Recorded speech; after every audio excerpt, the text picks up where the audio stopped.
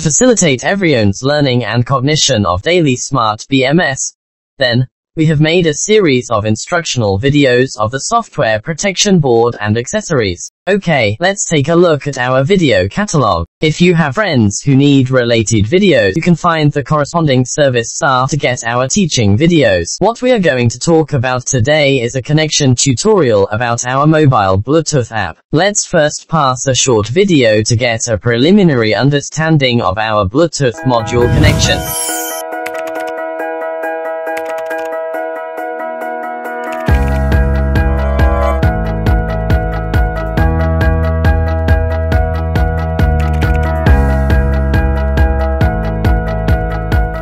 So let's take a look at the downloading methods of our foreign users. There is our official website of DALY, Google Market, and foreign mobile apps. Apple App Store. Let's first take a look at our DALILEG official website. First, we enter our DALILEG website. On this website, www.dalileg.cn. We enter our web page, and we find our information at the back of the web page. Where is the information? We found a tutorial on how to connect our mobile app to BMS. In this tutorial, there's an download link for our download method. Let's look at our Google Market again. We search for the name of our mobile app in Google Market. Smart BMS. S-M-A-R-T BMS. We click search. In the following application, we can see our smart BMS. You can download and use it. Finally, let's take a look at our overseas Apple App Store. We search for our app's name in the App Store of this Apple mobile phone called Smart BMS. S-M-A-R-T BMS. We click search. We can directly download and use. dot. Hello, everyone. Today, let's explain to you how the mobile app can connect to DALY's Smart Protection Board through the Bluetooth module. First of all, let's take a look first. What are the materials we need to prepare? A software protection board has been connected to the battery pack. One Bluetooth module and one mobile app software of Smart BMS downloaded.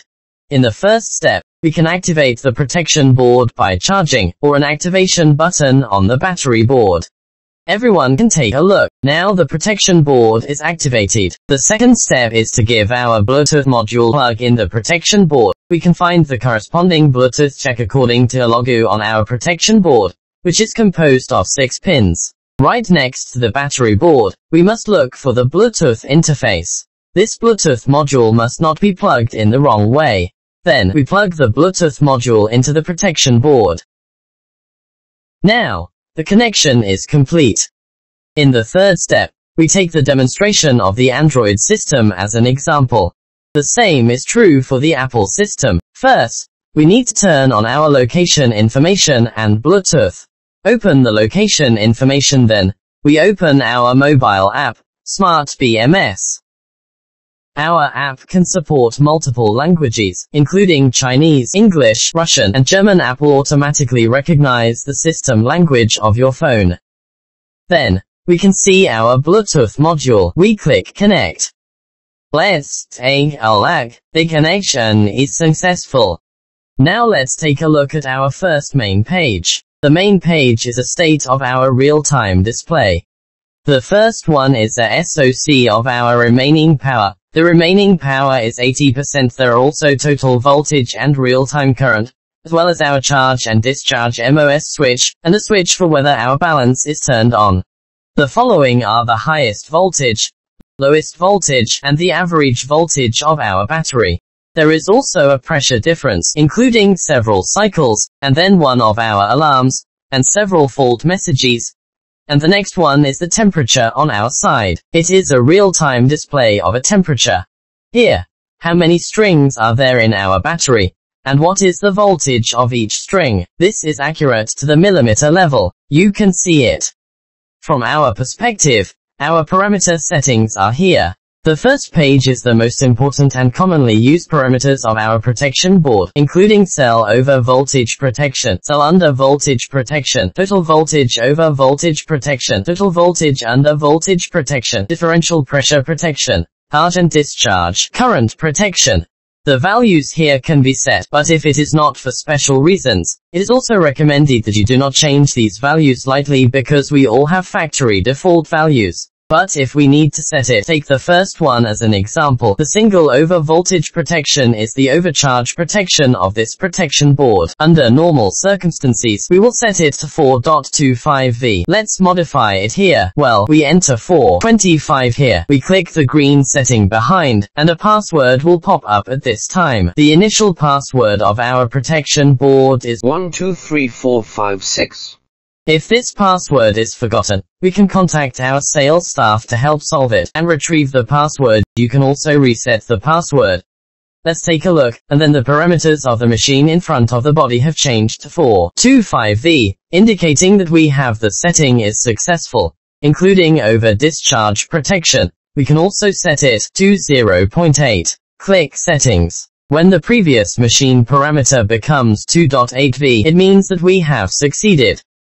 Then we look at our second page. The second page is a feature of our battery cell. The first is that the type of battery is ternary lithium, lithium iron phosphate, or lithium titanate. We can click on the setting. And the second one is the rated capacity, which I mentioned to you earlier, is the software protection board on the battery pack. The first thing it needs to do is to first set the capacity of the battery pack. Right here. If your battery pack is 30R, you need to enter a 30R click to set it here. Only if you set it here, and then display the real-time status, the percentage of its remaining power is accurate.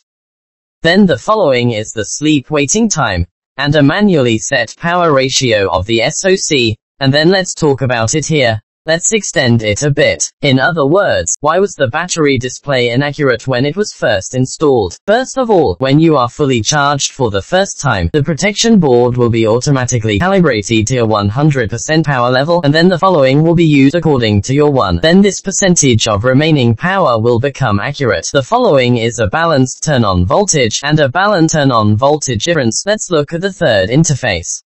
The third interface is the setting of the acquisition board. Here is the interface used by our R&D staff. Don't bother to set it up or worry about it. What about the fourth interface? It is temperature protection on our side, and it is also very important here. There are charging high temperature protection, charging low temperature protection, and discharging high temperature protection. Discharge low temperature protection, differential pressure protection, and temperature protection of the power tube. You can set it up. The value you see now is the default value for our side. Dot is a factory preset value on our side. Then we look at the last interface. The last interface is called charge and discharge control.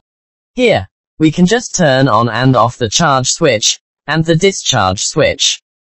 Then, what about restarting the system, resetting the current to zero, and resetting the password, like these functions? Everyone can go see and learn.